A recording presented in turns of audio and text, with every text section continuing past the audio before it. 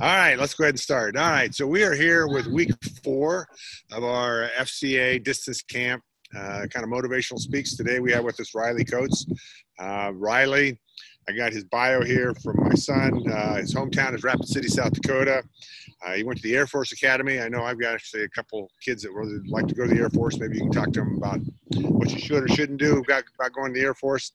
Uh, he's a two-time NCAA Division One national cross-country qualifier two times all Mountain West cross country, and he qualified for the Olympic trials um, this last year. So he works for the Air Force World Class Athletes Program participant, and he is just an amazing kid. I know my son really likes Riley. So um, let's just give it up, yay, for Riley Coates. All right, Riley, go ahead and go. Hi.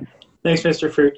Uh, really excited to be here with you all this morning. This is a, a really uh, cool thing that you guys are getting to do. Um, I never uh, participated in any camp like this. I mean, I went to running camps and stuff, but never something where you're actively seeking out God uh, in your summer programs and stuff. So you guys are already well ahead of me uh, from where I was at your age. So that's awesome. Um, so I've been running since sixth grade and uh, hope to continue doing so at a pretty high level here for uh, as long as I feel God is continuing to call me to do so. So um, for me, I think, like I was talking about at your age, uh, I was born and raised Catholic, but for me, um, Mass was just Sunday. Like like my God time was just Sunday, and the rest of the week was just day to day stuff, academics, athletics, social life. But that was it. Um, and I didn't really see how those would merge. Like they were kind of just completely separate things for me. Um, and I think we have to approach our Christian faith just like we do with running, where um, we wouldn't just do our long run on Sunday and then not run for the rest of the week and expect to be very good competitors. Um, so for us, we need to take time every day to seek out God, whether it's through uh, reading, through prayer, reflection, uh, talking to a spiritual advisor, just constantly feeding our systems uh, in order to um, to have Him at our center of everything that we do.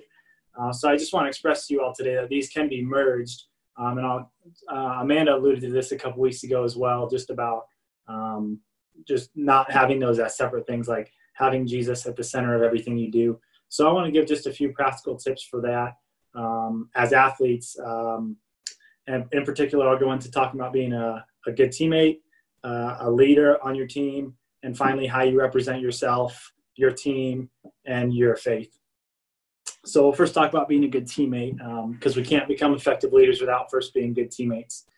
Um, Jesus calls us uh, in a couple different verses um, to deny ourselves, but also to love our neighbors as ourselves. So in essence, Jesus is talking to us about becoming more selfless in all that we do.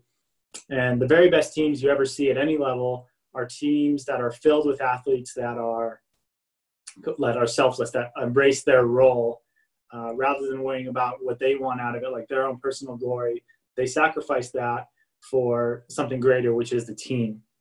So that's what he asks us to do. So an example of embracing your role would be, um, as I'm sure a lot of coaches go through every year, is you have your coach has to select seven athletes for their conference or state meet, and it's not it's usually not an easy decision. And usually a, a kid that's left out um, so if you you're on the receiving end of that, which like I was once, where I was someone else was picked over me, uh, we have a couple different options in that scenario. Where one, you know, we could be bitter or resentful towards our coach or the the teammate that took our spot, but that doesn't really that doesn't help the team. So um, it's kind of a shift in your mindset. So the, the Christian athlete's response needs to be whether you truly believe the coach's decision is right or not, uh, to trust in your coach and then all of a sudden and to have a, a shift in your focus to go from um, what you thought your role was going to be which is maybe like oh yeah i was going to be a scoring runner or maybe a pusher someone in that top seven like we think with cross country to all of a sudden my role is now to become the best supporter the best cheerleader that i can be which um, you have to let your pride down a little bit for that but it's for the greater good. It's for your team. Um, and that's what, what we're called to do as teammates. Um, and that's how team cultures are formed that's i mean that's something that if, if you excel at that well that doesn't just affect your team for that particular season. That sets a, a, standard for down the line, and that's how great team cultures are formed and dynasties are formed with teams. Um, the very best teams have guys that are all role players. Um, so now we talked about what being a good teammate means. We can talk about being a leader. Um, Jesus is the ultimate leader. So we don't. I mean, we think of leaders today like sports figures or mm, politicians and the team captains but we don't need to look any further for leadership guidance than Jesus himself, because unlike many leaders of today, Jesus is the ultimate servant leader. Um, this is a guy, the, the Son of God, who comes to us as seemingly a simple man, but he's also all powerful. He comes and he's performing miracles left and right, and you know, and he's able to die for all of us to save every single one of us. Mean, this guy snaps his fingers; he can do whatever he wants. Um, but this is the same guy that tells the disciples, I'm going to wash your feet. And to me, like, I'm, I'm trying to think of myself as a disciple on the receiving end of that, thinking, like, um, no. Like, if there's going to be any feet washing here, like, I'm going to be washing your feet. I, I'm not even worthy to do that. And you're telling me you want to wash my feet. Um, and this is showing that he is just the ultimate servant leader. And that's what we're called to do as well. Uh, I would imagine many of you, especially the, camp if you're going to camps, you're pretty serious about this. You're about to be in leadership roles, whether you're you're rising junior or senior, or maybe you're going to be a team captain here. Um, and for me, like, and I'm sure this wasn't unique to my high school. Uh, sometimes the mindset can be, oh yeah, like th- th- this is like this privilege, like oh the team kind of serves me now, like it's going to be the way everything's going to be the way I want it to be, or whatever I say goes. We're gonna we get to sit in the back of the bus because that's where all the the cool kids hang out or i don't know if that's still a thing but that's how it was when i was going through. Um, or we're gonna do some silly initiation for the freshmen but ultimately like we're in charge and the team is there for us. But what we fail to realize is that we're there for the team like we are now there to serve the team that leadership is not a privilege it's a responsibility. Uh, so i want to go over a few practical tips on how to apply that.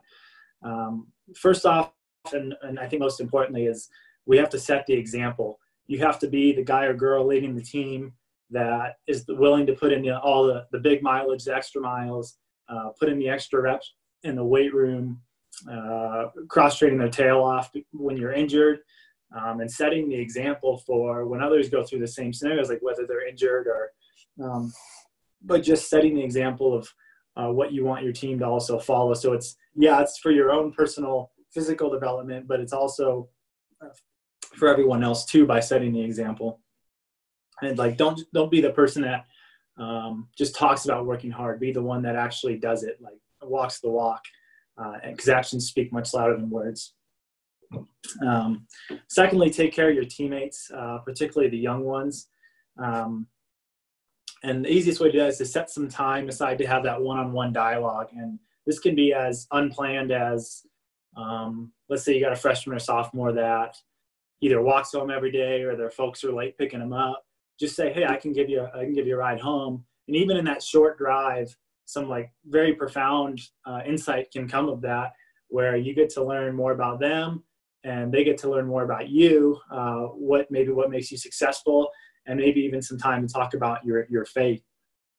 Um, and then also don't just try to take care of the kids that you think are going to be helpful to the team athletically. Um, you know, Jesus doesn't just serve his disciples or cater to his disciples. He wants to connect with everyone. So we're called to do the same. And to be honest, you'd be surprised where some kids that, I mean, I remember having freshmen, sophomores on the team that I was like, yeah, I mean, really nice kid, but there's no way they're ever going to be like a scoring member of the team, no matter how hard they work. And then all of a sudden, like one summer, they make this big jump, and then all of a sudden they're the like a scoring run on the team down the line uh, that you never would have guessed. So you never know how maybe one small interaction is going to pay dividends down the road for for your program. Um, and I also I would have teammates like take that time on runs as well. I would have teammates that would we'd be running in a group and they would put headphones on, and I'm like, what are you, what are you doing? Like we're because there's so many days that's great for our sport where there are days when it's like, hey, just conversation based. So now all of a sudden you have 30 minutes to an hour to have that dialogue with teammates and and I think back on it, and some of my most like profound conversations and meaningful conversations I've ever had took place in those windows of, of running. Um, so don't miss out on that. Like make sure you take that opportunity because it's a great opportunity to learn more about your teammates and to uh, and to possibly show your faith as well. Uh, this is also for the younger athletes. If any of you like freshman, sophomore, and feel like, oh, at my age, I don't really have any sort of um, leadership role, or I don't have any platform for that, or I don't have a voice. Um, you don't have to be an upperclassman to be a leader. If you're that person that shows up every day with a really a positive attitude and you work really hard, that's going to set a standard at least for your peers, and most likely is probably going to have an impact on your upperclassmen as well that might need that. Um, lastly, here I want to go over uh, Christian living and then how we how we represent ourselves, um, and also how we represent our team and our faith. So as athletes, uh, sometimes it's unfair, but we have a lot of eyes and ears on us. See, it feels like at all times, especially the higher you go up, you see all these pro athletes that are just every action and word they take is constantly scrutinized and that that's a tough way to live but i think as athletes you at least have to deal with that reality that there's a lot of visibility on you. Um, so whenever some questions ask yourself in every action and word that you do is um, how is my personal character? How's my team? And how are my faith being represented by by what i'm saying? So am i somebody who you know doesn't am I, is it somebody who's foul mouthed talk down to others um, for, as a team like are we on the bike path? Like are we always taking up the whole trail or are we rude to other pedestrians? Like do we have a good um, do we have a good reputation within our community as a team that you would want people that would want to emulate? Or do we have this reputation of people that are always kind of the knotheads that are always screwing around or or doing the wrong thing? Um, i think we have to remember that whenever we're out on the runs there's a strong likelihood someone in your group is wearing like a shirt that represents your school or whatever your whatever your team is. And so it's pretty easy for people to identify wh- who you're with and where you're from. Uh, so always just keep that in mind.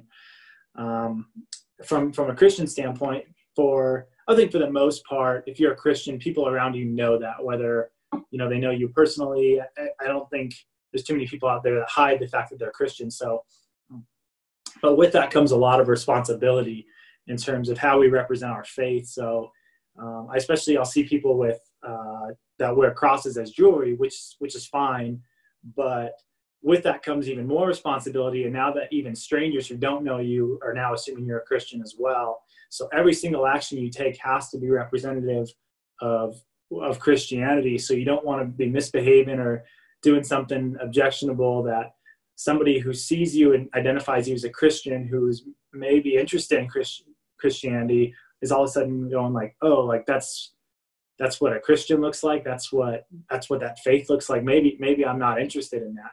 So you never want to um, create a situation like that by by misrepresenting yourself and your faith. Um, along the same vein, and this is more of just my input for you as um, hopefully going to college soon, whether you're going to run or not, uh, is to please, please check your social media accounts. Um, and as you're going through, think about like, how does every post, comment, photo that I have here, how does it represent me, my team, and my faith?